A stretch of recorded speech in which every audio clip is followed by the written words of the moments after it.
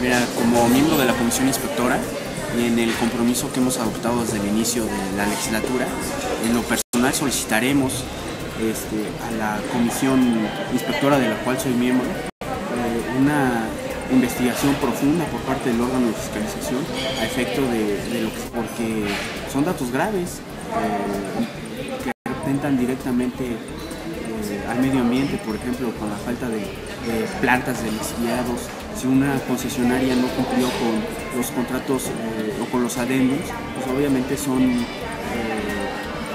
causas para iniciar un procedimiento administrativo y no aprobar la cuenta del sistema operador de limpia y también iniciar un procedimiento de responsabilidades al, titular de, esa paramunicipal, a Héctor Sulaimán, eh, estaremos presentando esa solicitud por escrito y también presentando una investigación a la, misma Profepa para ver el daño que se ha generado al medio ambiente.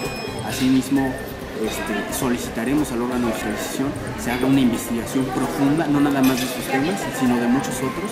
Este, la presidencia municipal. Recordemos que ella es la presidenta del Consejo del, Sistema Operador de Limpia, ¿no? Habrá, eso ya lo determinarán las autoridades correspondientes. Ella, por supuesto, lleva eh, porcentaje de responsabilidad porque como siendo la presidenta municipal, que te des cuenta de que tus funcionarios públicos no están haciendo bien su trabajo, que está generando un daño al medio ambiente, pues obviamente eh, también tendrá un porcentaje de responsabilidad.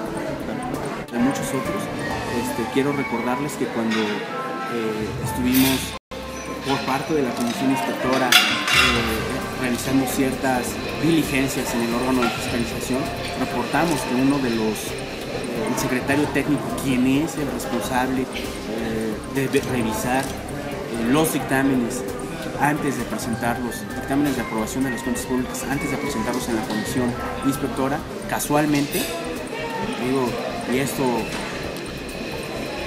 lo tienen que saber los ciudadanos, casualmente era el director de veces del Ayuntamiento de Puebla.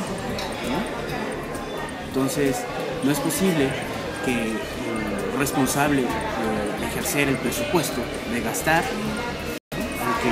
en el que recaen la mayoría de las observaciones en una auditoría, ahora resulta que era el encargado eh, de decir cuáles cuentas aprobaban y cuáles cuentas no se aprobaban. Ante mi administración, porque tuvieron pues toda la la transparencia y la búsqueda del bienestar de los poblados. No tengo más que decir, es que la concesión ya estaba otorgada y lo que hicimos nosotros fue reorientar acciones siempre en beneficio para, para la ciudadanía y para la alcaldía, al Senado. Estamos listas para poder participar y poder nuevamente trabajar para y por los poblados. ¿Habría alguna forma en que este tipo de temas pudieran perjudicar este funcionamiento? Sabemos que hay quienes en un momento dado quieren de la descalificación hacer la principal estrategia. Para mí la principal estrategia siempre es y seguirá siendo el trabajo. ¿Sería fuego amigo en el PRI o sería de otro lado? Insisto, siempre sido una mujer de trabajo, de resultados, que ve de frente, que evita entrar en un ejercicio de política que no comparto y que seguiré haciendo de ella sin duda mi principal compromiso.